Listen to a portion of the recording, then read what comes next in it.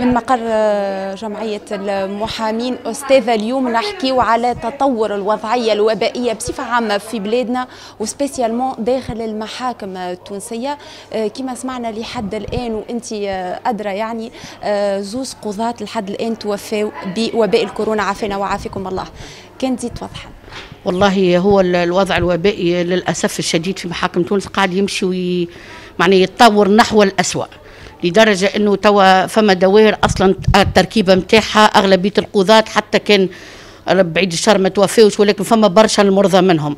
المحامين حدث ولا حرج راهو عندنا الأسبوع الفارط تقريبا أربعة زملاء. معناها يوميا ولينا نشهدوا عمليات وفاة لزملاء سواء من جراء الكورونا مباشرة أو من المضاعفات اللي تجي من وراء الكورونا. تلقاه هو بطبيعته راجل كبير مريض دم وسكر وغيره وغيره تكمل يخلط عليه الوباء. ما ينجمش يقاوموا. الأسبوع الفارط عندنا أربع زملاء في نفس الأسبوع يوميا نشهدوا. كتبت المحاكم قلت البارح بركة توفى كاتب ومحاكم أي كتبت المحاكم. توفى في محكمة تونس اثنين مرضوا في محكمة تونس. توفوا في محكمة معناها في جميع المحاكم الوضعية حاله الغريب في الأمر إنه ما نلقاو حتى درجات نتاع معناها وعي وإلا فما بروتوكول معمول ولا حاجة حتى شيء حتى الجيل اللي معمول تو لليدين هذاك طرف جيل محطوط في ال couloir وين الفرع الجهوي للمحامين عملته الفرع الجهوي للمحامين ولات المحكمة كانت تستعمل فيه. فما شكون حتى ولا يجيب دبوزة يفرغ منها الجيل اللي محطوط في ال bloc هذاك اللي حاطينه للمحامين ولات الناس الكل تستعمل فيه لقلة الإمكانيات. ما فماش. قاعات جلسة برا امشوا ادخلوا توا اعملوا دورة تو تتفجعوا. رغم اللي ما فماش مواطنين يدخلوا ولكن الملفات ياسر والعباد ياسر وفما قضايا اللي ما تستوجبش حضور محامي. كما النواحي الكل كما قضايا الجنحيه لازم المتهم يحضر كما قضايا الطلاق لازم المحامي يحضر كما قضايا الشغلية المعني بالأمر يحضر. تقول له ما تحضر جلستك والدوائر قاعدة تدخل ما ينجمش ما يحضرش ما عندوش محامي. من حقه باش يحضر باش يدافع على مصالحه.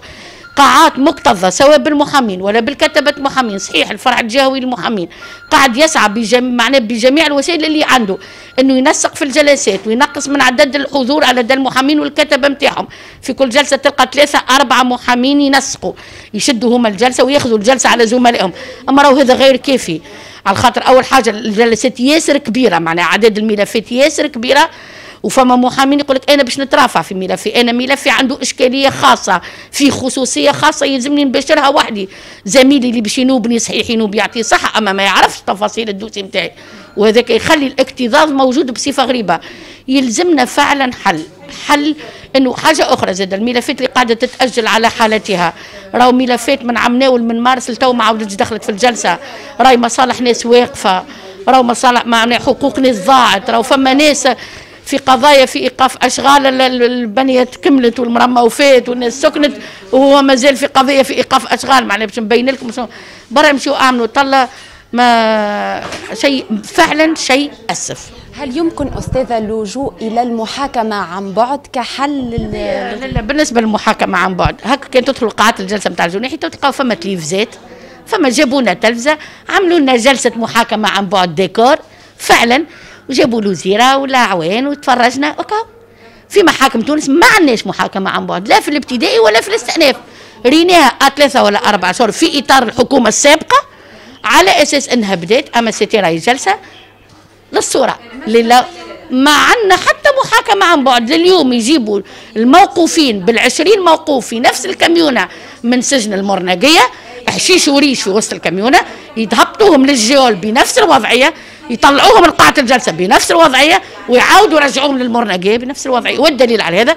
كثرة الإصابات في سجن المرنقية. أستاذة وأنت مختصة في القانون سمعنا أنه فما برشا مساجين أصيبوا بالكورونا خاصة في سجن المرنقية. شنو هي وضعيتهم القانونية؟ أنا مشيت المرة اللي فاتت آه، أنا مشيت المرة اللي فاتت نزور في موقوف طلع منوي بي للأسف مريض بالكورونا. ما جابوهوليش صحيح. ولكن اللي عاينته معناها بعيني أني فما مجموعة كبيرة من الأعوان ومن المساجين مرضى بالكورونا. حسب ما عرفت. خاطر أنا مشيت استفسرت على حالته.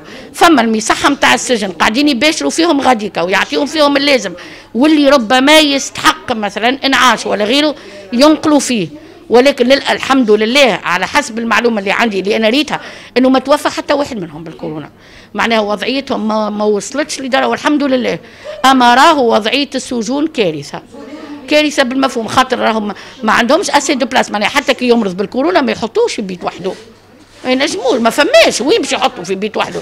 ربما يحطوهم مثلا المرضى في un pavillon مع بعضهم لكن ما عندهمش الإمكانيات باش يحطوه في بيت وحده تفاديا للعدوى. لكن اختيره برشا هكا الوضعيات هذاك اللي فما ما عندهمش ما فماش espace راهو السجن المرناقية surchargé déjà هذه معناها وزارة العدل الناس الكل تعرفوا وين باش يحطوا فوق هذا ودون هذا المربوط مرتبط بقضية فيها موقوف آخر باش يمشي معاه في الجيار وباش يمشي معاه في الكاميونة وباش يدخل معاه وباش يخرج معاه. معناها إمكانية العدوى واردة جدا. الاعوان اللي يدخلوا عليهم ويخرجوا ما يروحوا لديارهم. ينجموا الاعوان يصابوا لبرا ويمشوا لعائلاتهم ويصيبوا عائلاتهم لكن كي يرجعوا ويدخل من بعد البافيون تاع المربي ينجم يعدي. للأسف هذا هو الوضع اللي صاير. وإن شاء الله ربي يقدر خير أما أستاذ القانون التونسي شو يقول في مثل هذه الحالات الاستثنائية؟ هناك بعض المساجين مش الكل اللي الأحكام نتاعهم ما تتعلقش كما نقولوا إحنا بجرائم أو حاجات كبيرة. مش ممكن يفرغوا السجن شوية. كورونا الأولى برشا أحكام برشا أحكام خذت بعين الاعتبار الجانب هذا. صحيح بدون مخالفة للنص ولكن بما أنه النص يعطيك مارج نتاع تصرف من إلى من 15 إلى كذا وألا يعوض العقوبة السجنية بعقوبة مالية ولا بالخطيه ولا بالعمل التطوعي وكل. في الفترة الأولى نتذكروها مليح نتاع الكورونا في أفريل ومارس. فعلا برشا أحكام surtout اللي صدرت عن محكمة الاستئناف خاطر وقتها تحكموا في الابتدائي وتعينت جلساتهم في الاستئناف. الحكام خذوا بعين الاعتبار سواء كبار السن ولا الوضعيات الصحية وحتى في نوعية الأحكام صدرت برشا أحكام بال sursis وقع الإفراج على العديد من المساجين. افراج مؤقت على الأقل حين حضورهم والا باش يترافعوا عليهم في الجلسات المقبلة. ثم احكام بالخطية فما بالعمل التطوعي. معناها صحيح هذا كل. لكن توا لكن زاد راهو فما زاد فما قانون يحكم. فما نوعية من الجرائم اللي ما تنجمش تدخل في الإطار هذا. إيش معناها في جرائم قتل واغتصاب وقضايا اخترايات ما نجمش يفرج عليه وما نجمش يسيبه وما نجمش يعطيه عقوبة خفيفة. ولكن فما شوية مراعاة ديما في إطار القانون ولكن يقعد غير كافي راهو. غير كافي مثلا ثم برشا مرابيط تو محطوطين على الشيكات بدون رصيد؟ عندهم حتى معنى. عنده حتى معنى. صحيح ما خلصش الناس أما ما عنده حتى معنى. ثم الناس راهي محكوم عليها. ولا في قضايا ما نعرفش أنا اعتداء الأخلاق الحميدة. صحيح هذا كله باهي أما للأسف فما فما نجموا نحملوا حلول العمل التطوعي فما العمل المصلحه العامة فما نجم تفرض عليه إنه عام كامل يمسح ويسيق وينظف الكياسات وكل. كما معمول في أوروبا. عندنا النصوص موجودة. النصوص موجودة معنا. لماذا لا يتم تطبيقها هذه النصوص في هذه الوضعية الاستثنائية؟ ما تعودناش قعدنا للأسف الشديد كلاسيكيين تعمل عام لازمك تدخل الحبس راهو الحبس ماهوش دوائر كامل صحيح ينجم يكون رادع في بعض المسائل أما مش في القضايا الكل بالعكس ربما العمل التطوعي الإف أكثر خاطر وقت اللي يخرج ويعدي ستة أشهر هو يخدم في مع أعوان النظافة ويخدم في العمل التطوعي يفهم مش معناها قيمة النظافة وإيش معناها قيمة العمل التطوعي ويفهم مش معناها قيمة العمل يولي يعطيه قيمته يولي ما عادش يمشي ما عادش يرجع للجريمة وما عادش يرجع للمخالفات. ولكن إحنا قعدنا كلاسيكيين عندنا الجريمة تساوي السجن وانت ماشي وهذا هو اللي يلزم بالحق بالحق بالحق تتغير في المنظومة راي النصوص موجودة ولكن التطبيق هو اللي أما النصوص راي موجودة. في المادة المدنية عندنا شوية تغيير في المادة المدنية أو لقينا الحل عندنا الفصول القانونية الفصل 83 مرافعات مدنية وتجارية. يمكن إنه من من الجلسة الأولى نتاع القضية نمشيو طول للطور المرافعة اللي هي اخر مرحلة. فيما بين ذلك الطرفين ممكن ثم التقارير. محامي يحضر يقدم تقرير زميله يطلب التاخير قال لك لا يا إخوي تبدلوا بين بعضكم. ما عاد تجوني في الجلسة. أنا نبعث لزميلي تقريري عبر الميل وعملنا المحامين صفحة كاملة لتبادل الميل نتاعنا أنا نبعث لزميلي عبر الميل. هو يرد علي عبر الميل. وأنا نعاود نرد عليه. فك الشهر ولا شهر ونص اللي باش تأخر من الجلسة الأولى لجلسة المرافعة. نتبادلوا جميع التقارير. نجيو يوم جلسة المرافعة. نمدوا تقاريرنا المعروضة على بعضنا الكل. ونترافع ويمشي الملف للتصحيح أو تولي الملف المدني جلستين جلسته الأولى وجلسة المرافعة. تنقص الضغط تنقص المشي والجاي وينقص العداد نتاع الكثرة. هذه في المادة المدنية ممكن خاطر كلها تقارير. نجم نخدم خدمتي ونبعثها لزميلي وهو يخدم خدمته ويرجع لي. أما في المادة الجزائية مش نفس الشيء. في المادة الجزائية راهو فما بيروات نتاع التحقيق آه، زوز على ثلاثة. تلقى فيه قاضي التحقيق والكاتبة والمتهم والمحامي وبعد ساعات في مكافحة أربعة ولا خمسة. معناها عشرة من الناس في زوج ثلاثة متر مربع حتى حتى ما يجي ما, ما عندوش حتى هذاك هو.